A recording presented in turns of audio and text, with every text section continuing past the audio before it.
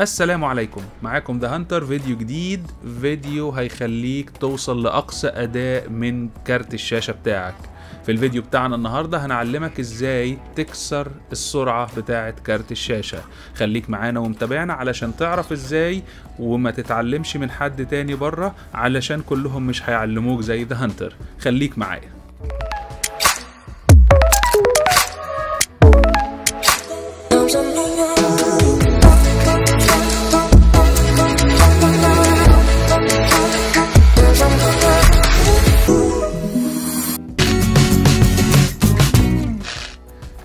جاهزين لكسر السرعة خليكم معايا. أول حاجتين تنزلوهم دلوقتي أول ما تبدأوا تتفرجوا على الفيديو ده حاجتين مهمين جدا. أول حاجة برنامج اسمه MSI منكم ممكن يكون عارفه وفي منكم مش عارفه. للي عارفه أو مش عارفه ال link في ال description تقدر تدخل وتعمل له download تاني حاجة بننزلها حاجة اسمها Valley Benchmark دي عبارة عن demo زي game أو زي textures كده بتمشي بتوريك الكارت بتاعك وصل لحد فين. وهنا دي النقطة التانية المهمة بتاعتنا. طيب نزلنا الاتنين وجاهزين معايا؟ يلا نشوف على الشاشة. طيب زي ما أنتم شايفين بقى اهو قدامنا عندنا ال benchmark Valley فاتحها الناحية دي والناحية التانية ال MSI Afterburner وطبعا أنا بحب أرشح دايما قبل ما تكسر سرعة الكارت بتاعك إن أنت تروح على ال benchmark Valley وتقيس الفريمات الحالية بتاعة الكارت بتاعك وتقيس الأداء بتاعه. قبل ما تكسر سرعته وده علشان لما تكسر سرعته تعرف هل فعلا كان في فايدة من كسر السرعة اللي انت عملته ولا لأ. ال settings بتاعتنا هنا كل اللي أنا بعمله بدوس على run بيعمل loading بسيط. بعد ال loading بيفتح لك شاشة فيها ال texture زي ما انت شايف كده شيء جميل كده غابات وحركات. أول حاجة تعملها بعد الغابات والحركات دي بتدوس على كلمة benchmark اللي فوق هنا. بيبدأ يعمل لك benchmark لو ملاحظ هنا بيقول لك في عدد 18 scene بتسيبه يعملهم كلهم مرة واحدة. أنا هنا بعمل على الكارت بتاعي اللي هو RTX 2070 سوبر وسايبه يعمل benchmark ولما يخلص ال 18 scene بيديك الأداء بتاع الكارت بتاعك وتقدر تشوفه. أنا هخليه شغال وبرجع لكم بعد ما يخلص. بعد ما بتخلص ال benchmark بتاعك بيطلع لك بعض البيانات بالشكل ده اللي بيهمك فيها هو ال maximum FPS أو عدد الفريمات اللي وصل له الكارت بتاعك وهنا أنا وصل عندي ل 258 نقدر نقول 259 frame. طبعا ده ال basic setting أو ال setting العادي اللي الأداء بتاع الكارت بتاعي العادي بيدهوني على ال quality ال ultra في ال benchmark اللي أنا عملته.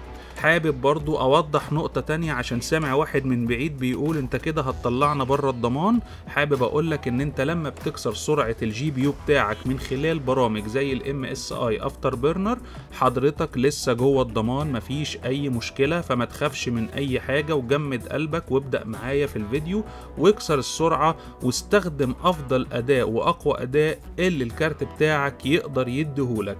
اللي بيضيع الضمان هو كسر سرعة ال processor والرامات لأنها بتكون من خلال ال BIOS ودي اللي بتكون recorded وبتبان للشركات المصنعة في حالة حدوث أي خطأ لل processor أو الرامات بتاعتك. أنا هنا بقى خلصت ال benchmark بتاعي دي أول مرحلة أنا عملتها بتاعة الكارت بتاعي. دلوقتي هدخل بقى المرحلة التانية وركز معايا قوي أول حاجة تيجي تعملها هتروح عند ال power limit وال temperature limit وترفعهم لفوق. دي أول خطوة. وبعد ما ترفعهم لفوق هتدوس على علامة الصح اللي تحت.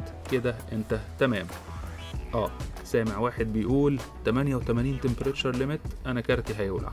ولا هيولع ولا حاجة. كارتك فيه ال settings بتاعته. في ال temperature limit معين. إذا وصل لها هيقف لوحده. مش هيولع ولا حاجة. ما تقلقش. جمد قلبك. طيب. النقطة التانية عندي ال core clock أعمل إيه في ال core clock هنا نصيحتي اللي عندهم GTX يا ريت يرفع الصفر ده بمعدل العشرين. يعني يمشي عشرين أربعين ستين وطبعا يقعد يجرب كل مرة. مع كل مرة بيعملها لغاية ما الكارت بتاعه يقف معاه يهنج. أول ما الكارت بتاعه يقف معاه ويهنج ينزل تحت بمعدل خمسة مش بمعدل عشرين. وهنشوف مع بعض. جماعة ال RTX يعملوا إيه؟ يطلعوا بمعدل ال 60 يعني يمشي ال 60 ومضاعفاتها يعني يبدأ هنا 60 120 180 وهكذا.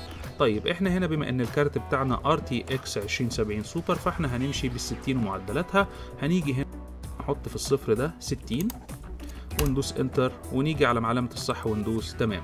كده إحنا رفعنا للستين وأعتقد الكارت بتاعنا يقبل أكتر من الستين ولكن هنا هنبدأ بالخطوة التانية بتاعتنا بما إن إحنا بدأنا نرفع في ال core clock هننزل على ال fan speed بتاعنا. هنيجي بدل ما هي auto هتضغط على علامة ال auto هيفتح لك ال manual. أنت هنا بتحدد ترفع المروحة بتاعتك لإيه. أنا هنا برشح نخليها على ال 75 وده لأن هي لو رفعتها على ال 80 85 هتبدأ تسمع صوت عالي جدا من المراوح بتاعة كارت الشاشة بتاعك وتدوس علامة الصح.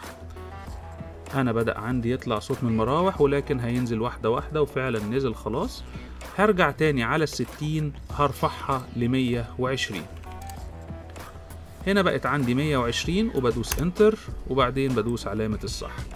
أجي على البنش مارك فالي تاني بتاعي وأقول له رن زي ما إحنا شايفين هنا أنا ده البنش مارك اللي عملته طلع عندي FPS أو ال frame بتاعي ل 262 frame. ده ال maximum frame بتاعي برضو على ال quality ال ultra نرجع تاني لل MSI بتاعنا. لو ملاحظين أنا ما باجيش ناحية ال memory clock خالص دلوقتي وهي هتكون الخطوة الأخيرة بتاعتي. بعد ما أخلص ال core clock برجع على ال memory clock. يعني لو أول ما ألاقي إن الكارت بتاعي وقف خلاص مش عايز يشتغل ندخل في ال memory clock بعد ما أظبط ال core clock وأتأكد إن ده الرقم اللي الكارت بتاعي شغال فيه بكفاءة من غير أي تهنيج أو من غير ما يقف في أي وقت من الأوقات.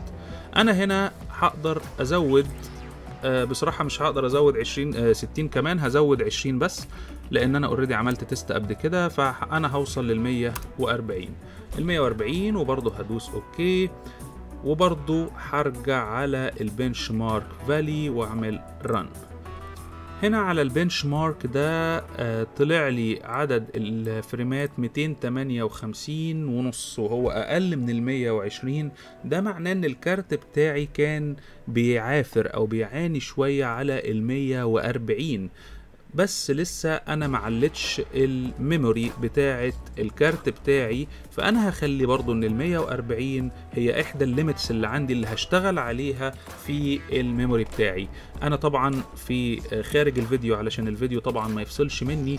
طبعا جربت أطلع على ال 160 وال 150 والكارت بتاعي حصل فيه crash أو توقف تماما وبالتالي كان آخر limit أقدر أوصل له هو ال 140 زي ما أنتم شايفين كده أنا وصلت لآخر limit عندي في ال core clock اللي هو ال 140 وبالتالي مش هقدر أزود عن كده علشان ما يحصلش crash في الكارت بتاعي أو الشاشة ما تقفش مني. هاجي هنا أبدأ بقى على المرحلة الأخيرة وهي ال memory clock بتاعتي. طبعا ال memory هنا أنا برشح إن أنت تزود بال 500 ال memory ما فيهاش أي مشكلة إن أنت تزود بال 500 أنا هنا هزود 500 وأدوس enter وأقول له okay أو go ahead. وبرضه هتعمل run و benchmark سريع وتشوف النتائج بتاعتك. طبعا زي ما إحنا شايفين هنا إن ال maximum فريمات عندي 267.3 وده طبعا أعلى من ال 120 كمان من غير ما زودت ال memory. أنا هنا على ال 140 وزودت ال memory بتاعي 500 طبعا عدد الفريمات بقى فيه فروق واضحة جدا عن البداية بتاعتي بالحالة الحالية.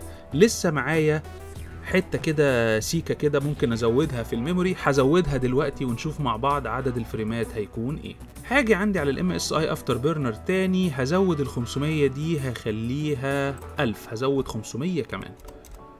وأدوس enter وأقول له go ahead ونعمل ال benchmark بتاعنا. زي ما إحنا شايفين ال benchmark بتاعنا نتيجته طلعت هايلة جدا وتقريبا تقريبا بزيادة 10 فريمات عن ال benchmark على ال memory 500 و core 140 هنا core 140 و memory 1000 طبعا أنا بما إني عملت ال test قبل كده لما تعديت ال 1000 الكارت بتاعي حصل فيه crash يبقى أنا الآخر بتاعي هو 140 على memory 1000 أي زيادة عن كده الكارت بتاعي بيهنج وبيقف وما بيقدرش يكمل معايا وبالتالي دي أحسن setting أنا ممكن أوصل لها.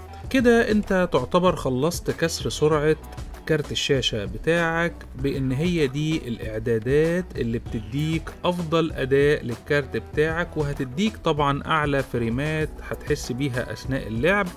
وطبعا المشكلة اللي ممكن تواجهك هل أنت مع كل restart للجهاز أو مع كل تشغيل للجهاز محتاج تحط الإعدادات دي بشكل يدوي كل مرة تفتح فيها الجهاز؟ هنا الإجابة بتكون لأ. ال MSI Afterburner فيه ميزة هو إنك تقدر تحتفظ بالإعدادات دي عليه من خلال إنك بتيجي هنا على العلامة بتاعة الحفظ بتدوس عليها بتلاقي الأرقام اللي عندك دي نورت بتختار رقم معين وليكن رقم أربعة بدوس عليها بيقول لي إنه تم حفظ الإعدادات.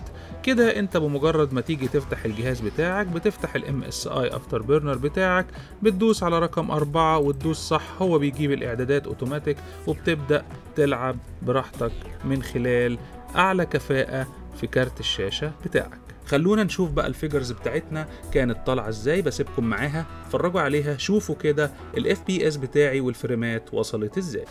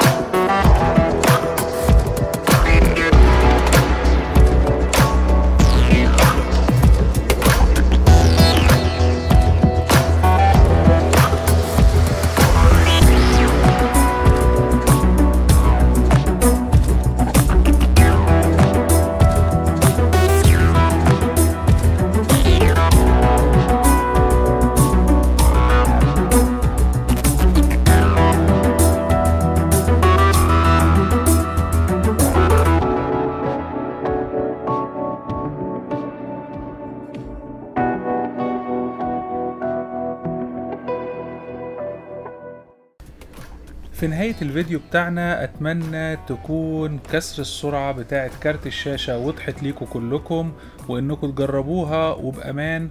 وطبعا في عوامل بتأثر على عدد الفريمات زي ال processor القوي. لو عندك processor قوي بجانب كارت شاشة كويس أكيد الفريمات بتاعتك بتكون أحسن وبتعلى أحسن وأحسن. أتمنى الفيديو بتاعنا يكون عجبكم وطبعا لما تجربوه قولوا لنا رأيكم في الكومنتات وما تنسوش طبعا ال like وال share وال subscribe لكل جديد لأن دعمكم مهم. شكرا لكم جدا وأشوفكم في فيديو جديد. مع السلامة.